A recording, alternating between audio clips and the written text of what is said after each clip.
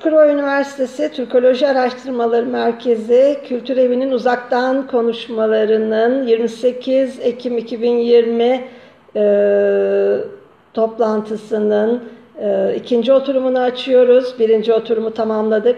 Doçent Doktor Feyza Altınkamış bize Belçika'daki Belçika'da Türkçenin ana dili ve yabancı dili olarak öğretimi konusundaki çalışmaları anlattı. Şimdi ikinci oturumda soruların diğer kısmına devam edeceğiz. Ee, değerli katılımcılar sorularınızı bekliyorum. Ee, bu arada da Feyza Hoca Hanım'ın yeniden bağlanabilmesi için bekliyoruz. Ee, sorularınızın bir kısmını aldım ama diğer e, sorularınızı bekliyorum. Ee, evet sorularınızı bekliyorum ve e, Feyza Hoca Hanım'ın katılması için bekliyorum. Ee, Çukurova Üniversitesi Türkoloji Araştırmaları Merkezi Kültür Evi'nin uzaktan konuşmalarının değerli e, katılımcıları bugün 28 Ekim 2020 e, bugünkü konuşmanın ikinci oturumunu sorular bölümünü açıyorum. Katılımcıları e, gördüm e, ve yine e, bugünkü konuşmacımız doçent doktor Feyza Altınkamış Hoca Hanım'ı bekliyorum. Herkese merhaba. Tekrar gördüğüm yeni isimler. Ee, hoca, hocalarım, sevgili hocalarım, değerli öğrencilerim görünüyorsunuz. Feyza Hoca Hanım göründüğünde e, ben hemen e, davetimi yapacağım. Henüz hocam görünmediler. E, göründüklerinde e, ben e, davetimi e, tekrarlayacağım. Sizler sorularınızı sorabilirsiniz. Bugün 29 Ekim Cumhuriyet Bayramımız başladı demiştik. Bayramımızı Türkçenin dalgalandığı, Türkçe bayrağını dalgalandıran, Belçika'da dalgalandıran arkadaşlarımızla, hocalarımızla devam ettirelim istemiştik. Onun için e, Türkçe bayrağının Belçika'daki temsilcilerinden e, Feyza Hoca Hanım'ı davet etmiştik. Şimdi hocamı bekliyorum. Görünmediler hala. Göründüklerinde hemen e, davetimi yenileyeceğim. Feyza Hoca Hanım görünürseniz çok seviniriz. Hemen e, evet henüz görünmedi hocam ama e, bizim ÇÜTAM katılımcıları, Çukurova Üniversitesi Türkoloji Araştırmaları Merkezi'nin takipçileri buradalar. Herkese merhaba. Evet şimdi hoca katıldı. Onu hemen e, davet ediyorum. E, Feyza Hoca Hanım'ı çağırıyoruz. E, evet komutları takip ediyorum ben. E, sorularınızı bekliyorum değerli e, Çukurova Üniversitesi Türkoloji Araştırmaları Merkezi takipçileri. Hoş geldiniz tekrar e, Feyza Hanım Hocam. Merhabalar, tekrar merhabalar hocam. Evet, e, şimdi ben biraz önceki e, oturumda sorulan bir iki soruyu not etmiştim. Onları e, size ileteyim. Evet, bu arada ÇÜTAM paydaşlarının Cumhuriyet Bayramı'nı kutluyorum diyor. E, ismini göremiyorum Halit Gökmen Bey, evet değerli öğretmenimiz hepimizi kutluyor. Hepimiz kutluyoruz, nice bayramlara diyoruz. Ee, Burcu e, Hanım demişti ki deminki oturumda Almanya'da Türkçenin e, yabancı dil olarak e, öğretimi konusunda farklı kaynaklar önerebilir mi acaba hocamız? Neler e, önerebilir diyor. E, onu e, sor soruyor. Evet. Bu arada Almanya. da Harun, Harun Arıkan Bey Hoca diyor ki Feyza hocamızı kutluyoruz, teşekkür ediyoruz diyor. Bize Belçika'da misafir etmişti Avrupa Üniversiteler Birliği toplantısında diyor. Ee, onun e, buradan mesajını ve Tiflis'ten selam söyleyenler var. Ee, ne kadar güzel. Dünya e, bu salgın bize bir başka şey daha getirdi. Dünyayı evet. küçük hepimize, hepimizin birbirine ulaşmasını kolaylaştırdı. Evet, Almanya'daki e, yabancı Türkçe öğretimi için önerebileceğiniz yabancı dil olarak Türkçenin öğretimi için önerebileceğiniz sizin kaynaklarınızdan başka kaynaklar var mı diye soru sorulmuş. E, bildiğiniz varsa buyurun yoksa evet. e, araştırmaya devam ederler. Ee, Harun Hocama ben de buradan selam ileteyim öncelikle. Çok güzel bir ziyaretti o. Evet, e, ben de onur olmuştum rektör hocamızın ve Harun hocamızın ziyaretiyle. Ee, Almanya e, şöyle ki, Almanya bu konuda çok ileride. Biz Almanya'yı buradan takip ediyoruz açıkçası. Orada Türkçe e, yayınlar, iki dilli yayınlar yapan e, yayın evleri var. E, bizim enstitümüz bünyesinde özellikle kuru yönetici üyelerimizden biri Ebru hocamız Almanya'nın takibindedir materyal konusunda.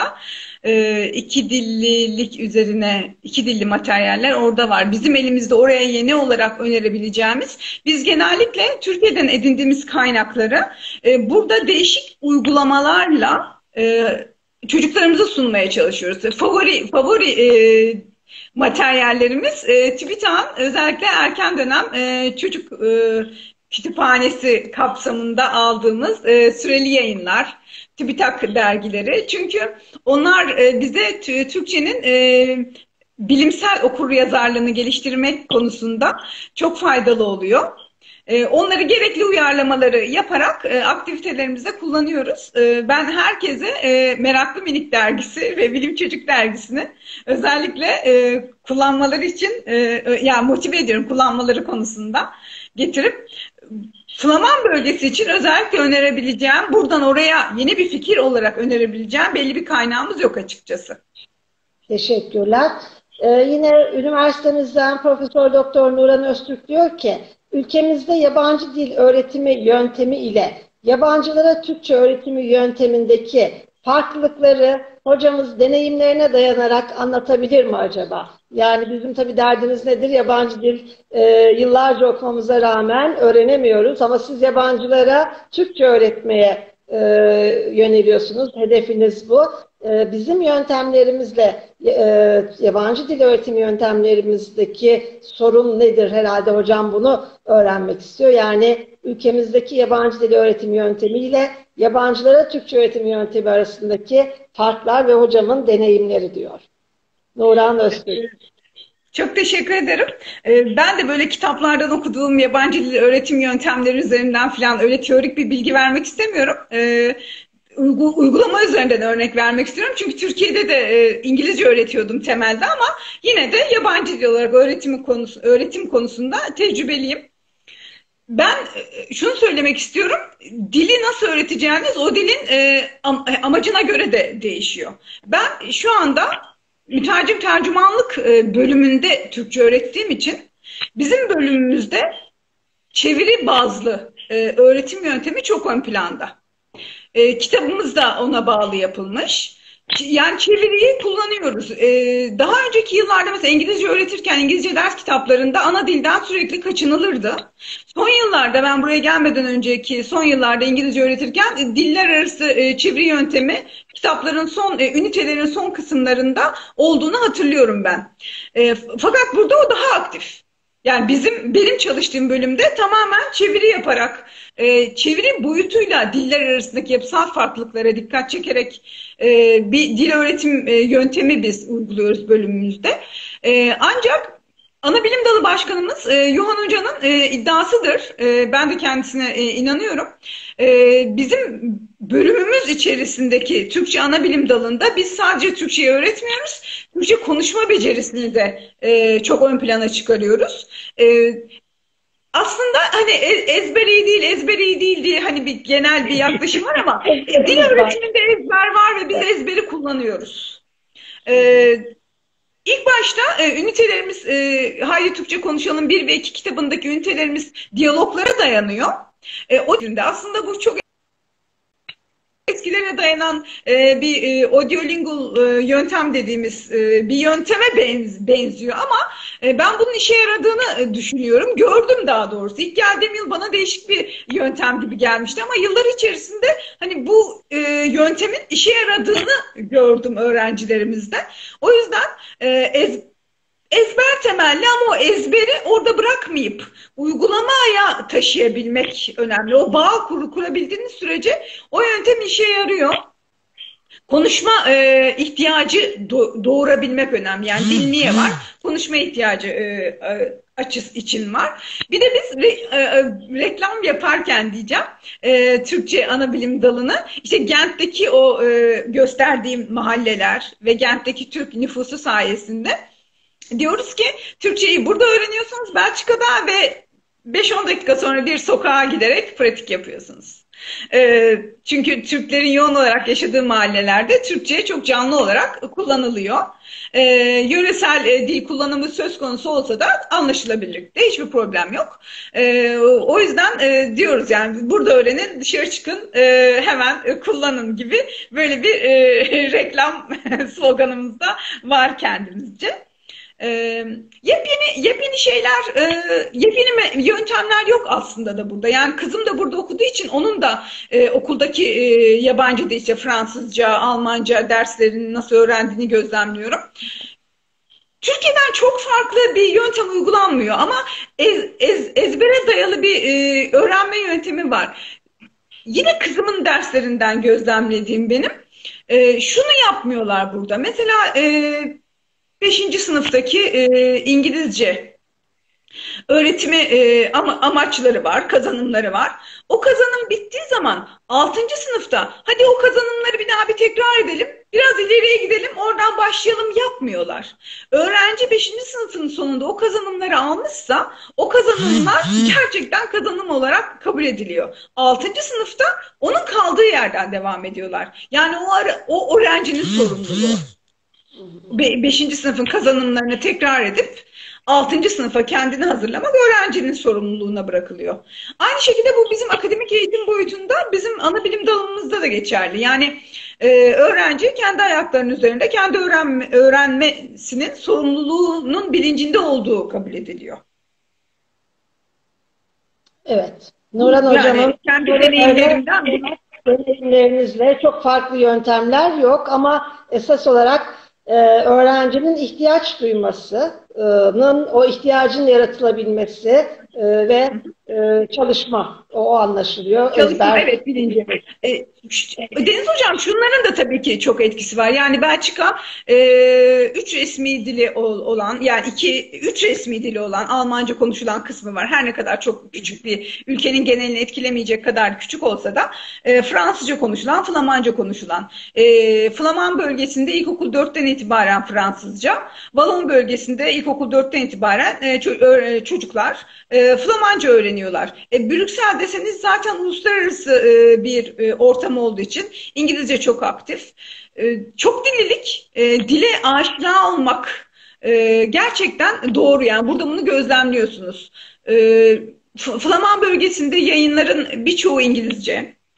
Televizyon, televizyon yayınlarının e, birçoğu İngilizce. E, dilsel yani dil konusunda bir farkındalık e, çok küçük yaşlardan itibaren geliyor.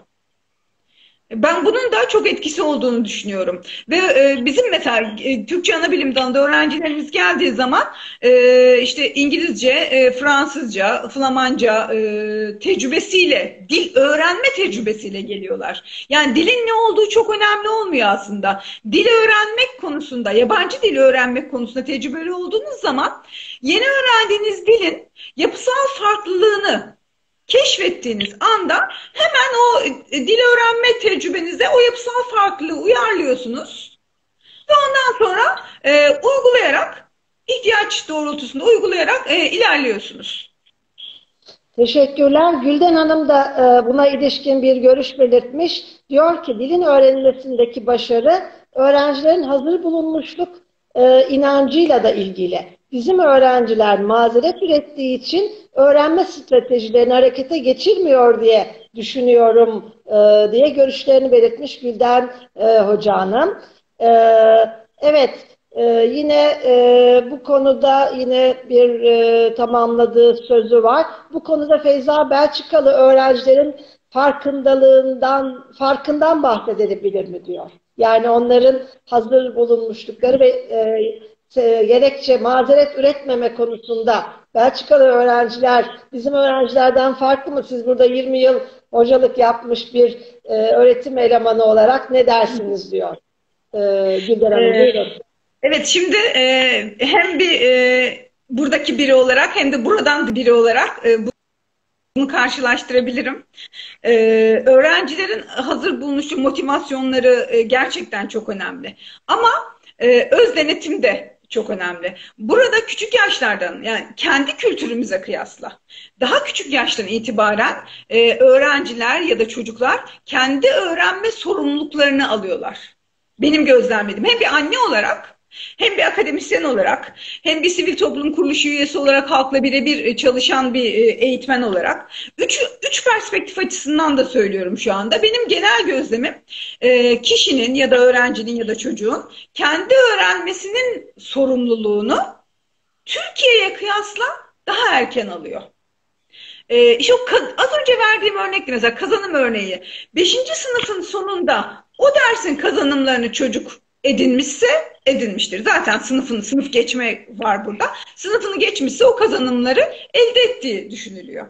Altıncı sınıfa geçtiğinde e, bizdeki gibi ay biraz daha geriye gideyim unutmuştur şeklinde tabii ki unutuyorlar. Tabii ki unutuyorlar. Ama bu onun sorumluluğu. Gidip bir tekrar yapar. Yapmazsa kendi bilir. Daha ilk sınavda, senenin başındaki ilk sınavda e, düşük bir not alabilir mesela. E, bu, bu da tabii böyle sadece bizim ülkemiz açısından konuşuldu. Yani genel öğrenme stratejileri konuşuyoruz şimdi. E, sadece e, çocuğun kendisini de geliştirebileceği bir şey değil. Yani ailenin, toplumun, eğitim sisteminin, okulun, öğretmenin bir bütün içerisinde e, hareket ederek gerçekleştirebileceği ve uzun vadeli bir e, süreç. E, işin içinde üniversite sınavı gerçeği var. E, o da farklı bir boyut. Yani Belçika'da üniversite sınavı yok. Ee, şimdi hep böyle söylüyorum. Belçika'da üniversite sınavı yok, yok oh oh falan gibi. Aslında hiç de öyle. Hani şu anda e, Kızıl Lise sonunda okuyan bir anne olarak e, bunu da söyleyebilirim ki tamam üniversite sınavı yok ama e, özellikle lisenin son 3 e, yılı ciddi anlamda ağır. Tamam belki çocuklar dershane, buradaki çocuklar dershaneye giderek, özel ders alarak falan öyle bir yarış hissiyle e, çalışmıyor son 3 senede ama e, yine de sınıf geçme sistemi olduğu için her senenin sonunda sınavlarına e, giriyorlar. Yani e, daha yıllara yayılmış bir e, yoğunluk e, söz konusu burada. Bir de hani e, işte 3 saatte yap, ne yaparsam geleceğimi kurtarırım gibi bir kaygı yerine işte son 3 yıla e, yayılmış, o kaygının yıllara yayılmış e, bir e, süreç söz konusu. Evet, teşekkürler. Bir soru daha vardı. Şimdi ben not ettim. Ömer Bey diyor ki, tıp fakültesiyle çalışmalarınızda iki dilliliği nörodilbilim ve psikodilbilim açısından ele alıyor musunuz?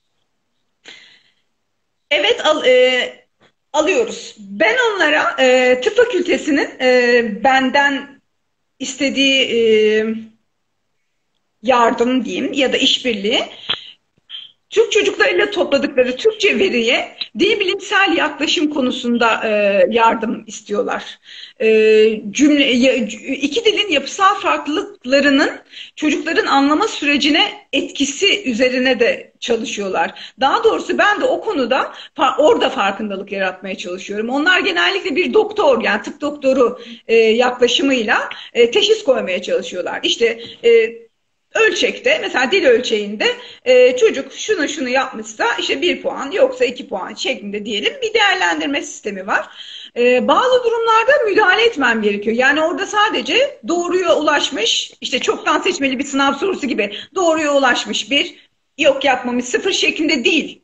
Orada dilin yapısından kaynaklanan e, bazı dikkat edilmesi gereken e, nöro, nörodil bilimsel diyebileceğim yaklaşımları da e, hakim olmak gerekiyor, görmek gerekiyor. En azından onlarda bir farkındalık yaratmak gerekiyor. O, o açıdan da e, elimden geldiğince yardımcı olmaya çalışıyorum. Zaten son yıllarda çok dillilik üzerine yapılan araştırmalarda artık çocukların e, sadece yaşadıkları ülkenin e, baskın dili olan dildeki becerisi e, değil de iki dilde de becerisinin çocukların dil seviyesine e, dil seviyesini tanılarken dikkate alınması gerektiği yönünde e, çok küçük adımlar var. Küçük farkındalıklar var. Üretilen yeni Avrupa Birliği projelerinden falan çıkan yeni e, e, testler var. Küçük bir hareketlenme var ama tabii bu çok uzun bir yol.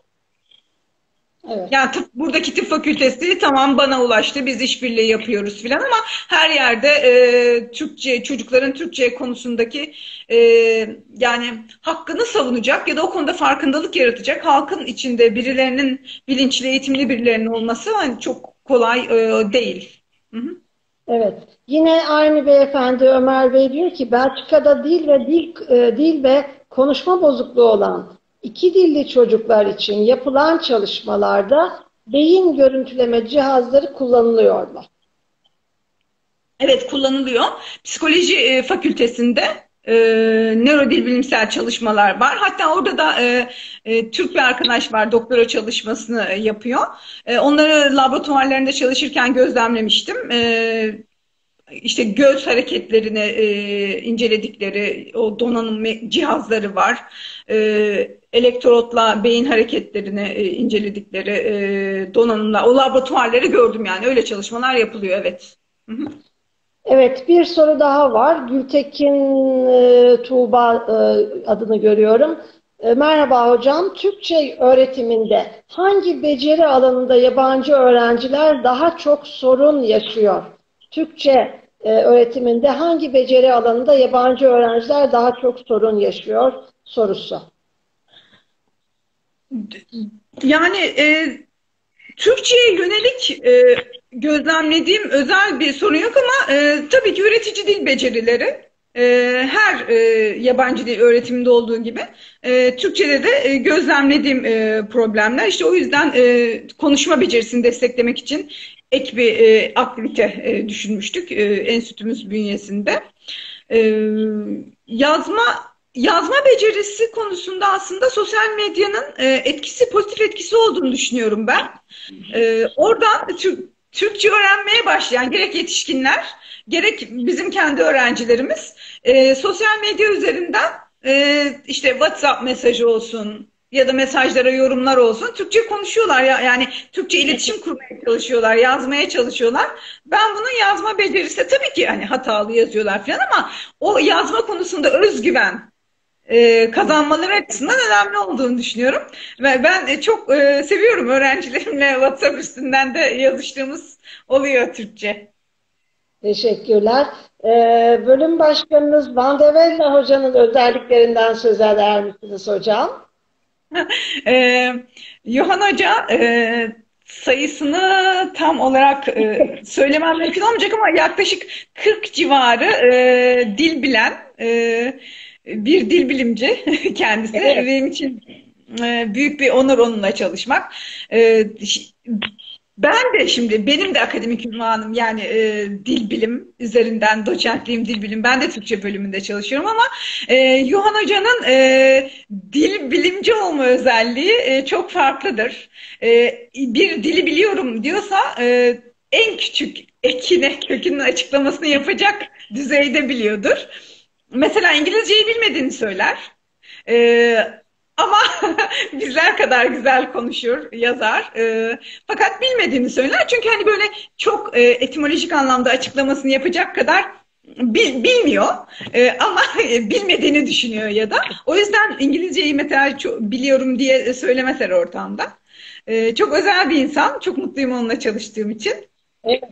E, ben de e, hocanın e, bütün Türk lehçelerinde konuşabildiğini hatırlıyorum. Evet. Türk lehçelerinde evet. konuştuğu zamanların örneklendiğini hatırlıyorum ve çok dilli olarak hatırlıyordum. E, sizin de teyit etmenizi istedim. Evet. Gördüğünüzle. Evet. Bunu söylediniz yani. Onun için bilmek demek diyorsunuz. Ekine köküne ayırabildiği zaman, kökenini bilebildiği zaman bilmek anlamına geliyor. Ne kadar mütevazı bir... tabii kesinlikle. Çok mütevazı ve Şöyle ki mesela bazı durumlarda da şimdi aynı e, ofiste hep birlikte çalışıyoruz. Kendi işte doktorası çalışmasını da yaparken falan. E, bir şey olduğu zaman e, hemen e, diğer iş arkadaşıma Sevda Hoca'ya bana e, mutlaka sorar. E, günlük kullanımı ile ilgili. Sizler e, Türkçe ana dil konuşuyorsunuz. Siz daha iyi bilirsiniz aslında kendisi kendisi bizden daha iyi biliyor ama e, mutlaka bizim de fikrimizi alır. Günlük hayatta bu kullanımı da var mı? Şöyle kullanılıyor mu? Belki ben bilmiyorumdur falan diye. Çok mütevazıdır evet. Ne kadar güzel. Ee, ben e, şöyle bir baktığımda aslında e, Belçika'nın Türkoloji anlamında pek çok e, Belçika'da pek çok yayının çıktığını, bizim Türkoloji ile ilgili önemli yayınların eskiden beri e, Belçika'da basılan, basıldığını gördüğüm pek çok kitap çıktı, gördüm yayın evleri açısından da. Yine geriye doğru bakınca mesela bizim Türkolojinin ünlü isimlerinden Willy Bang'ın bir dönem Löwen Üniversitesi'nde çalıştığını gördüm. E, Birinci Dünya Savaşı e, evet Birinci Dünya Savaşı yıllarında Löwen'de çalışıyor. Almanya'dan oraya gelmiş ve başlangıçta e, Hint-Avrupa dilleri uzmanı, e, İngiliz dili e, uzmanı ama zaman içerisinde Willy Bank biliyoruz ki Türkolojiye yönelmiştir. Hint-Avrupa dillerini araştırırken e, Türk diline yönelmiş önemli bir isim. Yani birçok isme bakıyorum. Belçika'daki üniversitelerde bizim Türkoloji ile ilgili geçmişten bu yana önemli bir e, birikim de var aslında. O anlamda da sizin üniversitenizde bu geleneği devam ettiriyor. E, bu bakımdan güzel bir e, kitabı yeni fark ettim. Daha önce fark etmediğimi e, üzülerek e, söylüyorum.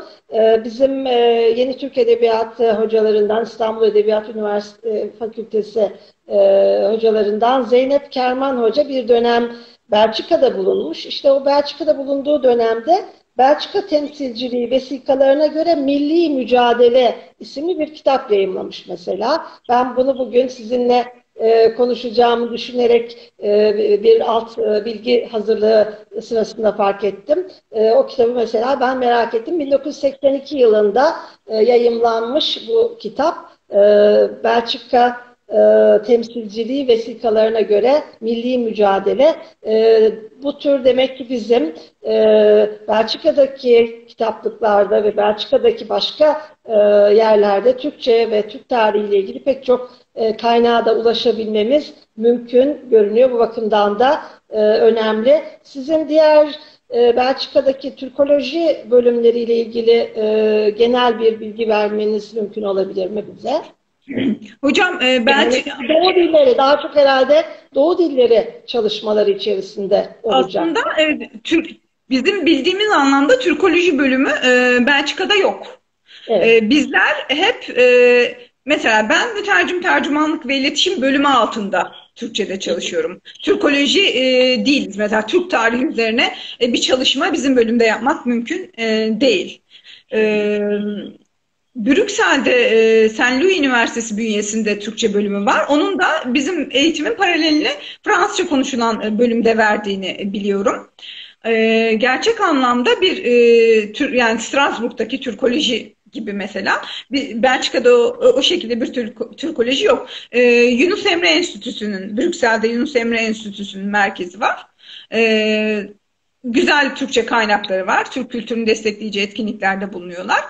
Gent Üniversitesi kütüphanesi içerisinde Yunus Emre tarafından oluşturulmuş bir Türkçe bölümü var. Ee, orada ciddi e, kaynak var Türkçe konusunda e, şehir kütüphanelerinde Türkçe, Türkçe kitaplar var ama Türkoloji anlamında e, Flaman bölgesinde e, ve bil, bilgim bilgim çerçevesinde e, Belçika'da e, yok. Teşekkürler. Evet.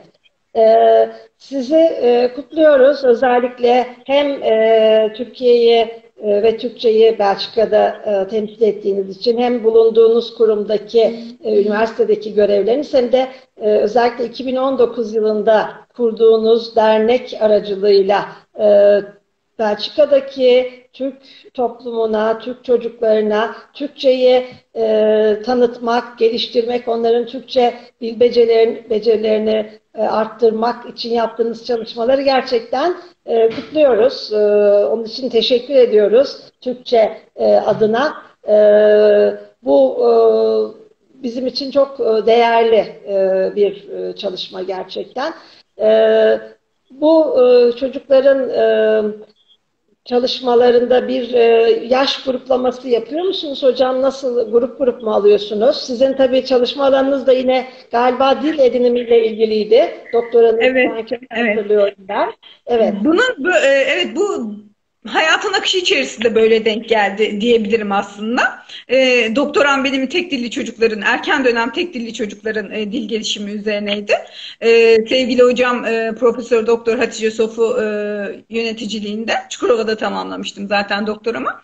E, ondan sonra buraya gelince e, Türk toplumunun bu kadar içinde olunca e, iki dillilikten uzak kalmak, e, dil edilimi çalışan bir araştırmacı olarak iki dillilikten uzak kalmak e, mümkün değildi. E, yaş halka yönelik Türkçe e, etkinliklerimizde okul öncesi dönemden başlıyoruz. Benim araştırma alanım olduğu için özellikle çok ilgi duyuyorum. Okul öncesi dönemden başlayıp e, ilkokul sonuna kadar ama ihtiyaçlar doğrultusunda lise öğrencilerimiz için de okuma kulüpleri, mesela var. Mesela e, şimdi e, Gent'te e, bir lisede e, Türkçe kitapları bölümü açmak istediklerini söylediler. Türk öğrencilerinin çok olduğunu söylediler. Öyle bir bölüm için kitap listesi e, hazırlamamı rica ettiler. E, her türlü, her yaşam e, gerek akademik kimliğine gerek e, enstitü bünyesinde e, yardımcı olmaya çalışıyoruz ve etkinliklerimizde e, çıkış noktamız yani e, çıkış noktamız demeyeyim ama e, temel e, başlangıç noktamız okul öncesi eğitim. Teşekkürler. Hatta bana kalırsa ben hep Beşik'ten, Beşik'ten ifadesini çok kullanıyorum. Sağlam öylece kuracaksınız zaten. Onun için en doğru yoldasınız sağlam kuruluş yolunda. Şimdi yeni projenizden söz etmiştiniz. Çok dilli birlikte kitap okuma. iki dilli kitap okuma. Nasıl olacak bu hocam? Onun ev, uygulamasına başlamadık. Cuma günü ilk toplantım var. Fakat eğitimini aldım. Ee, nasıl olacak? Çeviri e, bazıları. Mesela Sait Fahin e, ben onun üstünde bir küçük deneme yaptım. Şişt, şişt öyküsünü. Kısa öyküler seçeceğiz. Kısa öyküler. Flamancası da olan. E, onları Flamanca da okuyacak partnerim. Flama, ana dili Flamanca olan e, partnerim Flamanca okuyacak. E, konuşacaklar. E, ne, tadı, ne tadı aldıklarını yorumlayacaklar. Ondan sonra aynısını, aynı hikayeyi ben Türkçe okuyacağım. Ee, ve ben yorumlayacağım. Ve bunun sonunda ben yorumlayacağım derken tabii interaktif bir şekilde okuyucularla birlikte küçük okuma grupları mesela 10 kişilik okuma gruplarıyla burada da iki ayrı grup oluşturmaya e, düşünüyoruz. E, daha doğrusu ben bu konuda e, biraz e, şekillendirmeye çalıştım e, aktiviteyi. İki ayrı grup için bir Belçikalılar için yani Türkçeyi yabancı dil olarak öğrenen Belçikalılar için ayrı yapalım. E, buradaki Türkler için, yetişkinler için ayrı yapalım. E, çünkü ikisinin de aldığı tat farklı olacaktır. E, mesela Türkler Türkçeden daha fazla e, ta, tad almalı. Yani edebiyat okudukları hissini buradaki halkımıza da ben hatırlatmak istiyorum. E, ayrı e, başlayacağız sanırım. Ama daha sonra o grupları birleştirebiliriz. Yani ikisinin perspektifi. Çünkü burada amaç e, okuma motivasyonu. Yani bu çift dilli okuma etkinliğin amacı halkta okuma motivasyonu canlandırmak. E, ve çok dilliliği bir araç olarak kullanmaya çalışıyorlar aslında. E, ben biraz e, eğitimde de e, öyleydi. E, dil bilimci yaklaşımıyla bakınca metinlere oradaki işte dil kullanım, dil oyunları, kelime tercihlerine falan çok odaklanıyorum. E, ben onları vurgulamak istiyorum. E, işte kültüre ait, Türk kültürüne ait öğeler o öykülerde nasıl kullanılmış? Oraları vurgulamak istiyorum konuşma anında. Kültürel farkındalık yaratmayı da amaçlıyorum. Hı hı.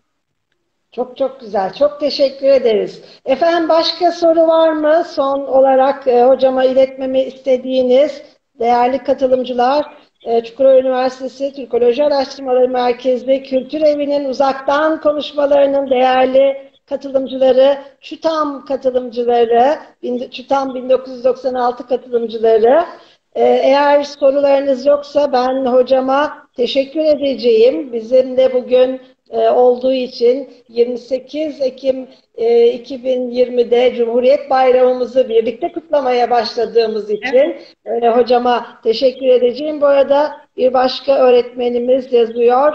E, çift dilli okumaların dil öğren ha, çift dilli okumaların dil öğrenmede ki katkısını soracak herhalde Halit Gökmen Bey e, devamını henüz göremedim ama e, sanıyorum öyle. Çift soha zorluk oluşturmaz mı diyor. Evet.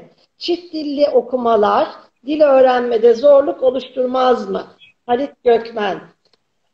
diyor. Böyle bir soru. Çok teşekkürler Halit Bey. Kesinlikle kesinlikle zorluk oluşturmaz. Aktiviteyi nasıl e, organize ettiğinize e, bağlı olarak. E, şimdi o seansa gelenler zaten iki, iki e, dili de biliyor olacakları için. E, hatta dilsel dilsel ayrımlar konusunda çok güzel bir farkındalık yaratacak. Ve o onun e, o dilin e, düşünceyi nasıl etkilediği konusunda çok güzel farkındalık yaratacak bence. Türkçe'de Ve ifade Evet, kültürel farklılığı gösterecek değil mi? Tabii tabii. Yani tabii. algı farklılığı. Düşünce farklılığı dile nasıl yansıyor?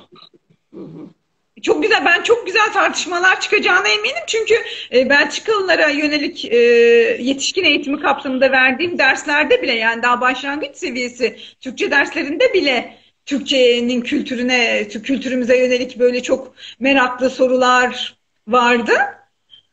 Ki edebiyat okuma aşamasında o soruların ben e, çok daha e, çok daha güzel olacağını, çok daha verimli olacağını düşünüyorum. Evet. Teşekkürler. Başka soru var mı diye baktım. Göremiyorum. Ee, sizi de e, katılımcılarımızda daha çok yormamak için e, bayramımızı e, hep beraber Türkçe ile kutladığım, kutlamaya başladığımız için size teşekkür ediyorum. E, ve oradaki çalışmalarınızda başarılar diliyorum. E, Çukurova Üniversitesi Türkoloji Araştırmaları Merkezi yönetimi adına ve e, merkezimizin katılımcıları adına, e, ÇÜTAM 1996 katılımcıları adına size e, teşekkürlerimizi sunuyoruz, başarı dileklerimizi iletiyoruz ve en kısa zamanda yine Türkiye'ye geldiğinizde salonumuzda, Kısacıkzade konağında, konağımızda, kültür evimizde sizinle yüz yüze buluşabilmeyi diliyoruz değerli Feyza Altınkamış hocam. Türkiye'ye geldiğiniz ilk fırsatta e, ve salgından kurtulduğumuz ilk fırsatta evet. bir arada e, merkezimizin e, kültür evinde buluşabilmeyi diliyoruz. E, çok teşekkür ediyoruz. Hepimiz e, e, nice bayramlara e, böyle Türkçe ile Türkçenin e, konuşulduğu coğrafyalarla ulaşabilmeyi diliyoruz. Buyurun ben hocam. çok teşekkür ediyorum. Onur duydum. Hem böyle güzel bir günde hem Çukur Üniversitesi'nin eski bir personeli olarak gurur duydum, onur duydum.